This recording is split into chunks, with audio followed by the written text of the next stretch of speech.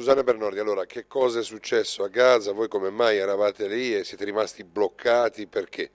Eh, ma la nostra delegazione, è, che ha un nome molto importante, per non dimenticare il diritto al ritorno, era una delegazione con una missione politica, per ribadire eh, veramente a voce alta che non si tratta di un problema umanitario, quello di Gaza, ma è un problema assolutamente politico. Siamo rimasti bloccati al Cairo per quattro giorni eh, perché pur avendo tutti visti eh, ci mancava la scorta armata, eh, mancavano degli accordi, dobbiamo dire che la Farnesina e la nostra ambasciata hanno fatto di tutto e dopo tantissimi così, colloqui, dopo quattro giorni abbiamo avuto questa scorta armata dei servizi segreti e quei 350 chilometri che dividono il Cairo a Gaza li abbiamo percorsi in un giorno e mezzo, soste di una, due, tre ore ai posti di blocco per avere la nuova scorta, eh, traffico incredibile, blocchi, eh, alle 4 scende, eh, c'è il coprifuoco e quindi bisogna fermarsi, insomma siamo arrivati arrivati il giorno dopo.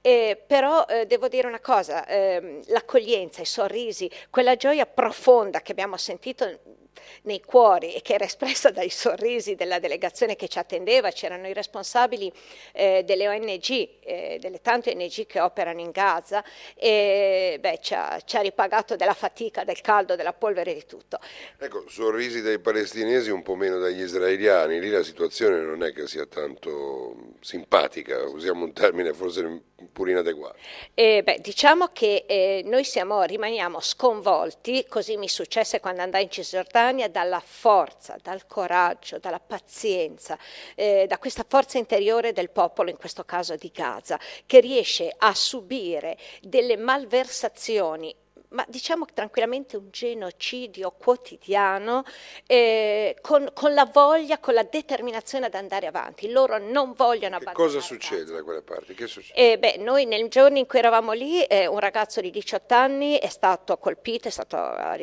gli hanno sparato, un soldato israeliano gli ha sparato mentre coltivava la sua terra. 20.000 contadini non possono raggiungere la loro terra, nonostante ci siano tutte le risoluzioni, gli accordi perché loro possano coltivare. I pescatori, noi eravamo al porto, sono rientrate due barche, sono un po' come i nostri gozzi, diciamo come misura, sono rientrate tutte piene di fori di proiettili e la notte precedente 30 barche di pescatori state, eh, hanno ricevuto spari, sono state sparate migliaia di pallottole, buttate 200 bombe in acqua, che chiaramente le bombe non solo fanno morire il pesce, ma creano delle onde tali per cui alle volte le barche si rovesciano.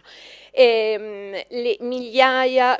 centinaia di migliaia di agrumi, eh, di olivi, eh, di mandorli eh, sono stati sradicati coi bulldozer. Cioè, quindi mettiamoci in testa che Gaza sarebbe una terra florida, non è povera, avrebbe le coltivazioni, la pesca, una spiaggia meravigliosa, l'artigianato e un popolo che vuole lavorare è che gli vengono tolte da sotto le mani gli strumenti e, e ragazzi che non possono andare a studiare, persone che